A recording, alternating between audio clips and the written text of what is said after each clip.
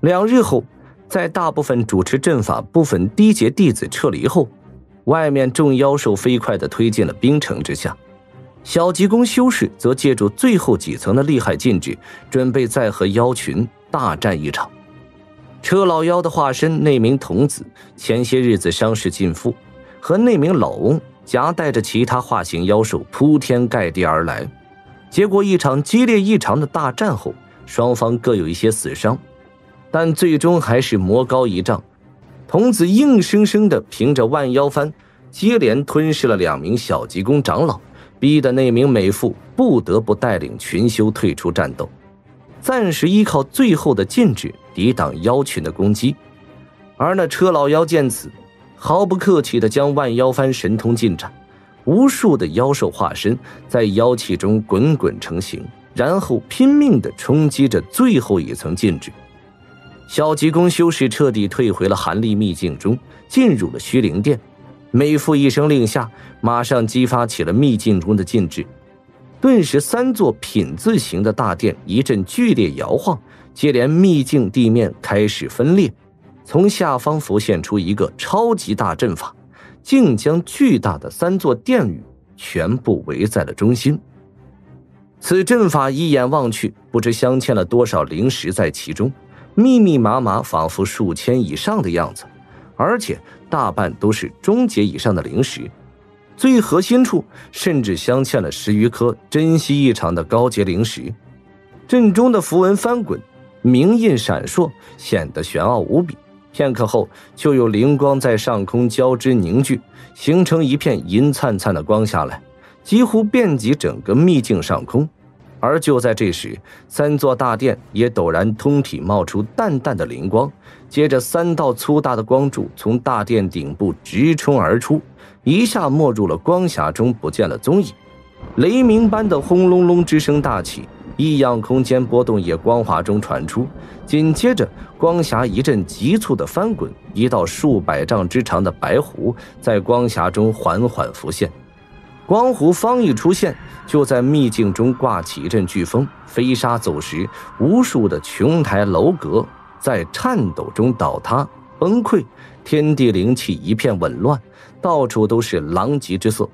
而三座大殿却似乎和这座空间裂缝有些关联，光芒一时间大盛，空中白狐也渐渐拉长变宽，仿佛一只妖魔之眼正在逐渐开张。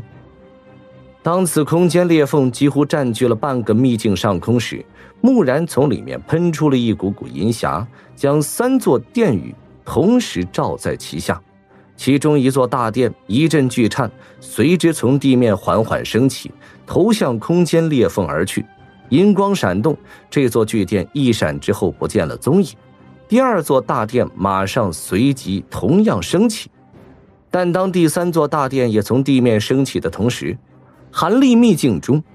某处光芒一闪，一只丈许大的雪白冰封竟诡异般的现形而出。此灵禽见到秘境中的这般景象，碧绿双目中闪过了一丝亚色，但马上盯着那尚在虚空中的最后一座大殿一眼，蓦然一张口，一道白芒一闪即逝，疾射而去，随之不见了踪影。然后，此妖就冷冷地看着此殿，也被吸入了空间裂缝之中，却未出手阻拦什么。三座大殿被射入虚空之中，空中的裂缝立刻缓缓地闭上，然后银光一闪，就诡异地消失不见。秘境中的一切异象也随之消失不见。那冰凤这才嘴中发出了一声轻鸣，随即双翅一展，一阵白光后。身形骤然间再次不见，再过了数刻钟后，一阵惊天动地的声响传来，整座巨山都是一阵巨颤。群妖终于攻进了冰城外最后一层禁制，那苍背青狼和所化的老翁和车老化身的幼童直扑巨山而来。就在这种情形下，玄玉洞底部的寒力上人也终于到了突破瓶颈的最后阶段。在法阵中，韩立手中的紫罗极火不知何时停了下来，正盯着不远处，一脸惊讶之色。不只是他，老妪和白梦欣等人也同样如此。眼也不眨，盯着法阵中心处的巨石上，均是满面的惊容，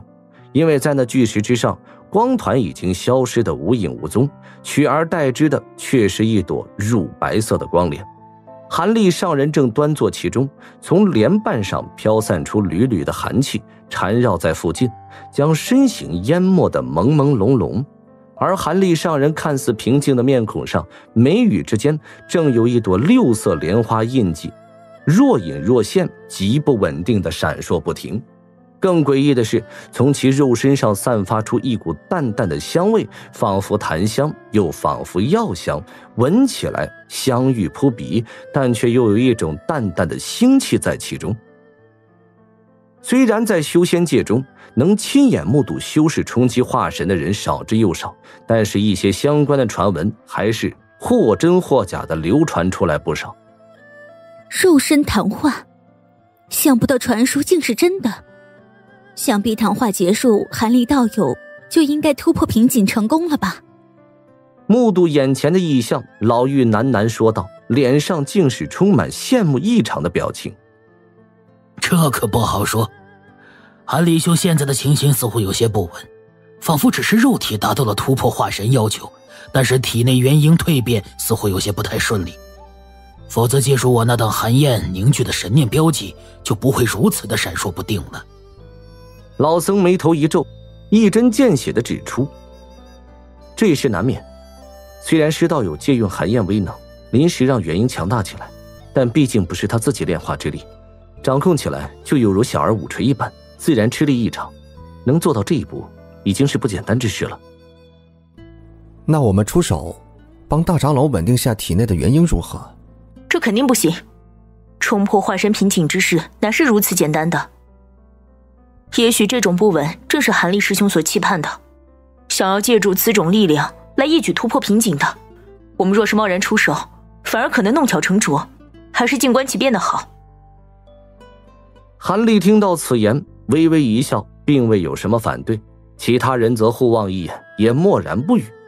其实他们就算想出手，恐怕也是有心无力，因为经过两日夜不停的操纵极寒之焰，众人已是身心俱疲，神念法力均消耗的七七八八。现在的众人只能目睹韩立上人自行突破最后难关，但没人注意到。韩立瞳孔深处蓝芒一直闪烁不停，将韩立上人体内的法力流转、元婴的种种变化都清晰异常的收入眼中，默默记下。这些只要以后有时间细细加以验证，他以后也是益处绝对不小。仅此一项，韩立就觉得此行冒险留在此地是大有所值。毕竟观摩修士突破化神期的机会，绝对是可望而不可求。他能此番遇上，也算是机缘不小。其他几人虽然也能用神念强行观察一些，但远不如明清陵墓神通下韩立收获多，清晰和全面性均大打折扣，效果也是大大不如。时间一点点的过去，不知过了多久，忽然盘坐在乳白色光帘中的韩立上人身形一震，身体散发的诡异香气，一下浓郁了数倍。同时，眉宇间的光帘标记也蓦然变大，幻化出一片片莲影出来，彻底绽开，怒放起来。原本静静坐着的韩立等人顿时一惊，同时凝神望去，只见原本盘坐在那里的韩立上人双目已然睁开，一对眼珠竟然散发出犹若赤金一般的光芒，同时手不动，足不抬，身形就从光帘上徐徐升起，仿如轻如无物。韩立上人四下顾盼一下，面上现出一丝惊喜，略一犹豫后，还是单手一抬，手指微微颤抖几下，似乎掐动了什么法诀。几乎与此同时，韩立只觉体内残余灵力一跳，随即狂涌沸腾起来，竟有种往体外狂泻而出的恐怖感觉。韩立大惊，不经思索的功法急转，这才将体内灵力失控，暂时压制下来。老妪和青山中年人脸色也大为一变，同样一阵手忙脚乱。看来并非只是他一人遭遇如此诡异之事。韩立目光闪动，尚未明白发生了何事，突然附近数座阵法同时嗡鸣出声，附近光芒更是猛然一颤，就从上面飞射出丝丝的光霞，直往法阵中飘射而去。这些灵光一接触到韩立上人身体，就没入其中，不见了踪影。短短片刻后，光幕就开始崩溃瓦解，从阵法外飘来的光霞变成了乳白色，一下粘稠浓密了起来。天地元气被引动了。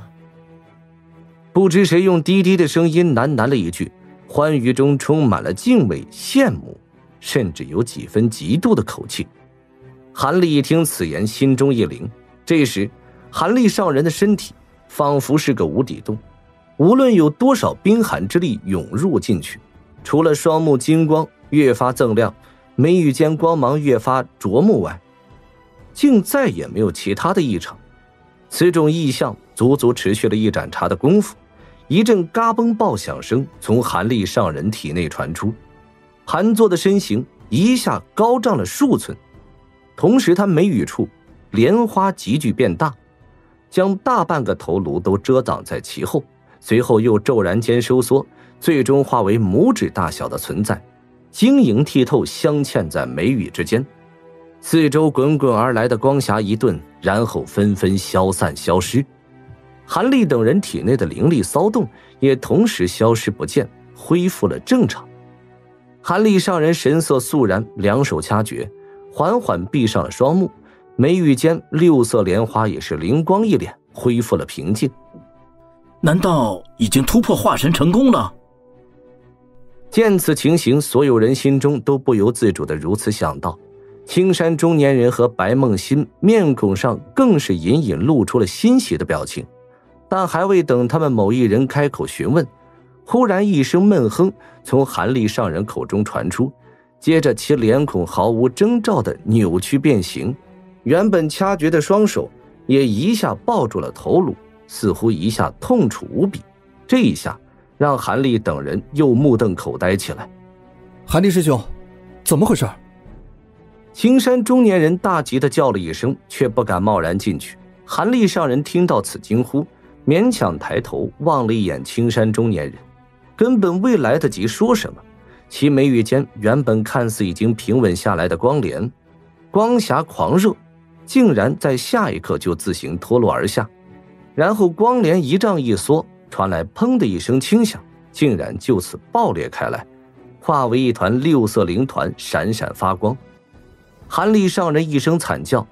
身形几晃，人就从空中跌落下来，正好掉入下方的乳白色光帘之中，身形一缩，瑟瑟发抖不停。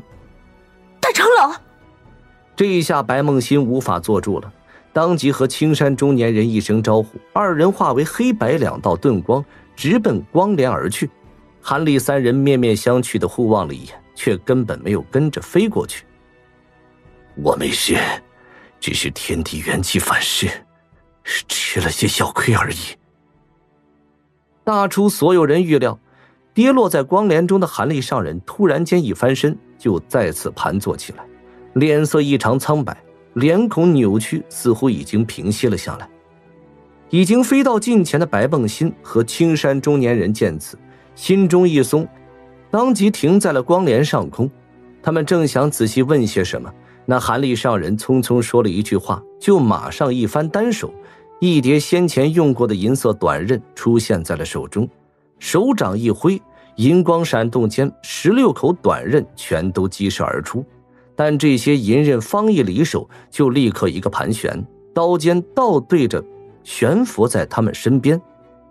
接着，韩立上人一声低喝，十六口短刃同时一闪，全都扎进了他的肉躯之上。除了头颅之上，身体各处都露出一柄短短的刀柄，刀刃几乎全都没入了身体之内。韩立见此情形，双目蓦然微眯，盯着前方，眼皮不眨。只见这时的韩立上人身体蓦然浮现出一层不一的杂化光焰出来，以蓝白两色为主，另有黄绿等其他颜色。几位道友，快快收起自己的寒焰！